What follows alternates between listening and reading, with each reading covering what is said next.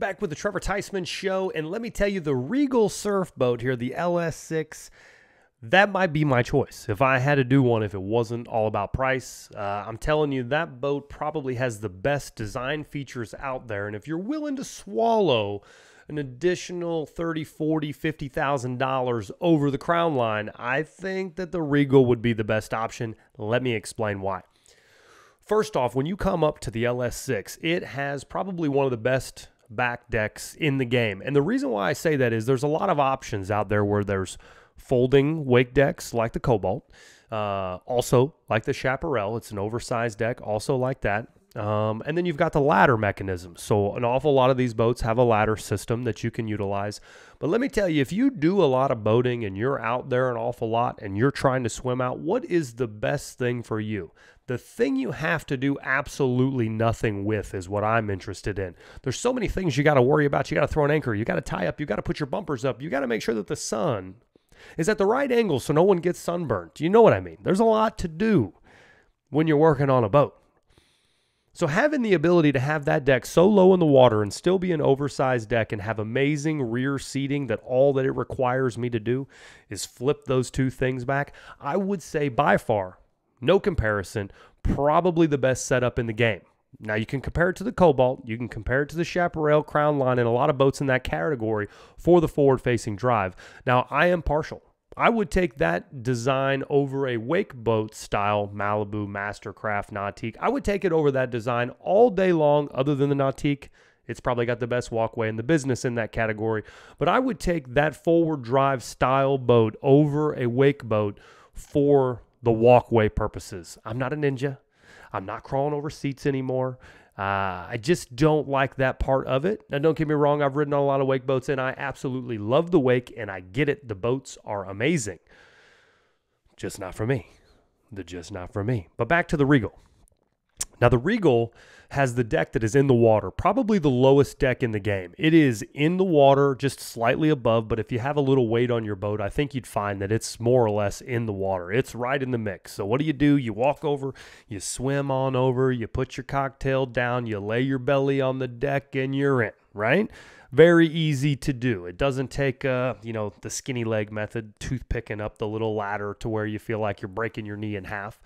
Um, just a, it's a lot easier to get up on. Now, Chaparral, Cobalt, they've got the step down system. A lot of work, got to push a button, got to wait on it. I know that sounds silly, but you got to understand if you're doing all these things, I just can't imagine that when my kids are done tubing, I'm going to go over there and push this button and wait for this step to come down, take six seconds. You know, some of those things I just think about down the road, I'm not sure if I would be. Let, let me put it this way Is it a bad thing? No. Is it better than the deck being in the water? Definitely not. So Regal takes the the crown there for the best uh, low deck position on where they put it. Now I think that the interior of the Regal is genius. I don't know that the captain's seat I would consider the best one because it didn't have any side support. You're a little bit like you're on a bench. And if you've ever been in a boat and you get turning around and you hit some side waves or some chop, I want to feel like I'm sitting here. You know, if everybody else wants to fall down, that's fine, but I've got the steering wheel. So we got to make sure that my butt's staying in place. So I didn't really like how there was no bump out or anything to hold my sides a little. Um, but I have not water test drove the boat, so I can't say that that would actually be a problem. But that was a concern. But overall, the interior design is awesome how they have those bumpers. You simply rock them back, rock them forward. You want to go forward, everyone wants to take a nice ride. Co captain, captain sides, flip them over. Now we're looking forward, everybody's good to go.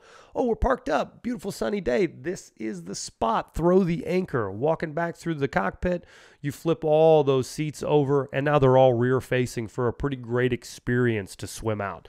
I think that Regal probably has done the best job in making a universal design that's a little bit more foolproof. No buttons, no switches. Flip that thing over. Well made, nice design, good upholstery. Um, I think that they really nailed that design. That LS6 um, is the first model that they put the bathroom in. So I don't know about you, but my wife is into the bathroom for the kids. You know, I, I don't know what it is about a kid that somehow when you get into the middle of the lake, it's not close, it's not right by the dock get about 20 minutes out and then someone has to use the bathroom and it's never number one. So you got to spend all this time trying to figure out do we got to go all the way back? Mm, maybe we should. Do you think they just, you know, swim in the water? I, growing up, but we were in the river. I remember swimming over and, you know, dropping the kids off. You know, I I don't have a problem with it, but not in 2022. We got to use a bathroom. We got to have everything okay for the kids, which is fine. I'm into that. So, bathrooms are required for the youngsters. I didn't know that about life, but now I know if you've got a kid under four, they need a bathroom on a boat. LS6 is the first model that that comes with, and that may be an issue for some people. If you're on a lake where you need a smaller boat, you can't get that on this. That's one perk about the Crownline that comes in at a little bit shorter of a boat that may work a little bit better for you. And that's one of the perks for that Crownline video I'm going to do next.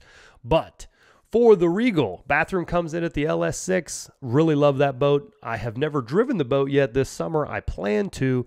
But the problem for me with the Regal is going to be the uh, archway design. Now, this may be only my problem, or maybe 2,000 people in the United States' problem that likes to um, hydrofoil. But if you hydrofoil, you put this big old ski on the side of your boat in this rack. But the most inconvenient thing is it has a T bar that's 40 inches long.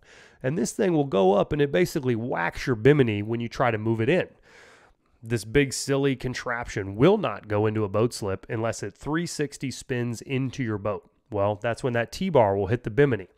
I'm a little bit concerned that what I like to do is hydrofoil and whatnot is that that bimini is going to stop my ski from swinging in. So that's a big hiccup for me personally with that particular boat model.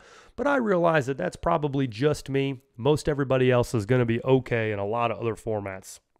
As long as your ballasts aren't full, you're going to have tons of room for storage in this boat. Um, but if you do use your ballast system, you always got to remember that it does, in fact, take up your storage when you fill up all the sacks. So storage is going to be predominantly towards the front of the boat because everything else fills up towards the back side of the boat. So you got to be careful with that. Now, one other thing that I had, um, if you guys go look at this boat or interested in the boat, I realize that if you're listening, you're probably interested when you test drive it, I would want to test drive the Malibu Series Surfgate style boat, Chaparral or Cobalt. If you're a big wave person and you want the best wave, realize the technologies are different. Regal has the tab system that's going down and then they're adding weight into the hull. The Chaparral, the weight is in one central location. These other boats are using different style ballast tanks to where you could actually get a little bit of a, a shift in the weight on the boat through your ballast filling. So when you test drive this Regal, I think you'll want to realize that it is a tab based system that's pushing down this way, not outside like the Malibus. So if you're looking for the best surf boat, and if you're getting into the LS6, it is $170,000. So that is where you're falling if you want the true motor that you're going to want to uh, get. And what I mean by that is, of course, they're going to tout, hey, you should get this 300 stock motor with it, 300 horsepower.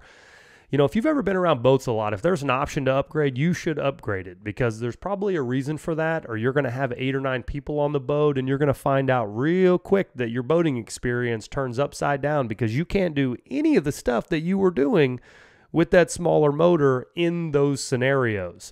And after you're down the road and you already paid off your boat, the one thing you're always going to remember I wish I would have upgraded that motor. You'll always think that. And I think that uh, never go in there and buy a boat without buying the more horsepower. That's just the way it is. So at least the 350 puts that boat at about 170 walking out. So if you're in the 170 category, then I would be also looking at some of those Cobalt versions because, you know, I would say the finish of the boat, the Regal, is going to be a little bit closer to the Cobalt, in my opinion, on walking through them. So if I was going to spend $170,000 on a boat, I want to go look at the Cobalts because I might find one a year or two older with that Malibu surf system on it that makes a better wave with a similar finish, if not even better, if I was all about the wave. Does that make sense? Eh, the the Malibu surf system is a different technology that it seems to be a more effective wave maker. So if I'm going to get all the way up to 170, I sure want to make sure I got a pretty darn good wave. Now, if the wave looks great to you, I think it has the best interior cockpit uh, slash end of the boat lounge area design. You know, I, I don't know that this still wouldn't be the boat that I end up buying if I can find one used. I really, really like the Regal's design. It is by far the most thought out. And if you've got a boatload of money and, and want to move up into their hardtop tower, let me tell you, on display at the boat show was probably the coolest tower I've ever seen. It's a hardtop tower, which is a lot of downsides of a hardtop tower, but there's also a lot of pluses, a lot less things to do if it's always there. But you never have any sun, you know. So if you go out in the fall or the early part of the summer and it's a little chilly, well, it would be okay if I didn't have this hard top up and I can't even get anything, no sunlight in. This thing slid the roof back. It literally had like a moon roof to where probably let in about 60, 70% light. You know, it wasn't the whole hard top, it was just the middle area that slid back, but it slid back through the entire cockpit. And it was a really good design. I liked it. I liked it a lot. It uh, gave you the ability to have the sun in there if you wanted it. And if you didn't, then you'd close it up. Uh, the other piece on that hard top was also mid July, late August, sweaty, hot. Sun is just boiling down, right? Need shade. Hard top, good. Close up the moonroof, good. This thing has extending poles that comes out over the swim deck if you've got little kids, those little bodies can only take so much. You know, I've been around a lot of little kids that they, they get pretty tan.